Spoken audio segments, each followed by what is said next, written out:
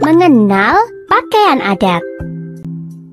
Pakaian adat Nangro Aceh Darussalam disebut Bidi. Pakaian adat Sumatera Utara disebut Karo. Pakaian adat Sumatera Barat disebut Batu Sangkar. Pakaian adat Riau disebut teluk belanga dan kebaya. Pakaian adat Bengkulu disebut Bengkulu. Pakaian adat Jambi disebut Melayu Jambi. Pakaian adat Kepulauan Riau disebut Teluk Belanga dan Kebaya. Pakaian adat Sumatera Selatan disebut Aisan Gede. Pakaian adat Bangka Belitung disebut Melayu Bangka Belitung. Pakaian adat Lampung disebut tulang bawang. Pakaian adat Banten disebut Banten. Pakaian adat Jakarta disebut Betawi, Abang None. Pakaian adat Jawa Barat disebut jas takwa dan kebaya. Pakaian adat Jawa Tengah disebut beskap dan kebaya. Pakaian adat Daerah Istimewa Yogyakarta disebut Yogyakarta. Pakaian adat Jawa Timur disebut Madura. Pakaian adat Kalimantan Barat disebut Berang. Pakaian adat Kalimantan Timur disebut Urang Besunung. Pakaian adat Kalimantan Selatan disebut Banjar. Pakaian adat Kalimantan Tengah disebut Sinjang. Pakaian adat Sulawesi Utara disebut Minahasa. Pakaian adat Gorontalo disebut Gorontalo. Pakaian adat Sulawesi Tengah disebut Lavi. Pakaian adat Sulawesi Barat disebut Sulawesi Barat. Pakaian adat Sulawesi Selatan disebut Toraja. Pakaian adat Sulawesi Tenggara disebut Babung Ginasamani. Pakaian adat Bali disebut Ayas Agung. Pakaian adat Nusa Tenggara Barat disebut Sumbawa. Pakaian adat Nusa Tenggara Timur disebut rote.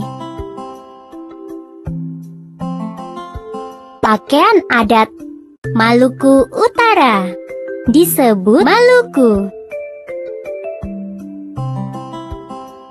Pakaian adat Maluku disebut Maluku. Pakaian adat Papua Barat disebut seruni.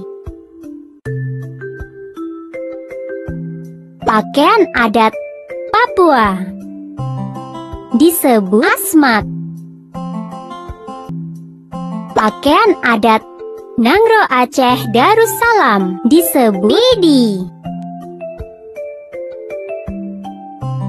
Pakaian adat Sumatera Utara disebut karo. Pakaian adat Sumatera Barat disebut batu sangkar. Pakaian adat Riau disebut teluk belanga dan kebaya. Pakaian adat Bengkulu disebut Bengkulu. Pakaian adat Jambi disebut Melayu Jambi. Pakaian adat Kepulauan Riau disebut Teluk Belanga dan Kebaya. Pakaian adat Sumatera Selatan disebut Aisan Gede.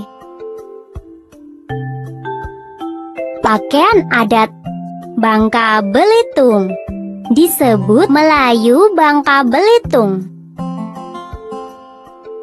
Pakaian adat Lampung disebut tulang bawang. Pakaian adat Banten disebut Banten. Pakaian adat Jakarta disebut Betawi, Abang None.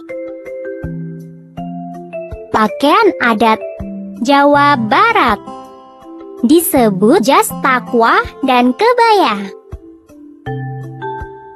Pakaian adat Jawa Tengah disebut beskap dan kebaya. Pakaian adat Daerah Istimewa Yogyakarta disebut Yogyakarta. Pakaian adat Jawa Timur disebut Madura.